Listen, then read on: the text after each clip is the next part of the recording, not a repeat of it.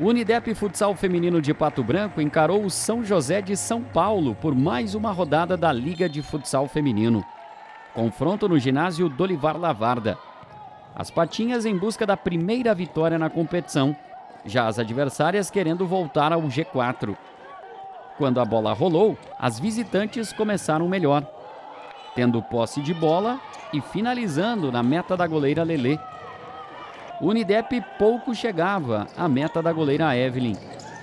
Apesar da força do São José, o gol não saiu. E assim, o primeiro tempo terminou em 0 a 0. Na volta do intervalo, o Unidep melhorou. O jogo ficou bem equilibrado, com chances para os dois lados. Ao longo do tempo, o ritmo caiu e nos minutos finais, o Unidep começou a arriscar com goleira linha. O objetivo era a vitória.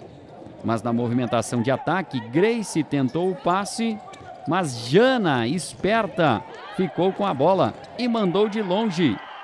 A bola lentamente no gol aberto do Unidep. 1 a 0 São José.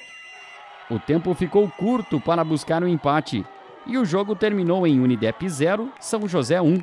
O São José vai a 12 pontos na tabela e Unidep permanece com 3.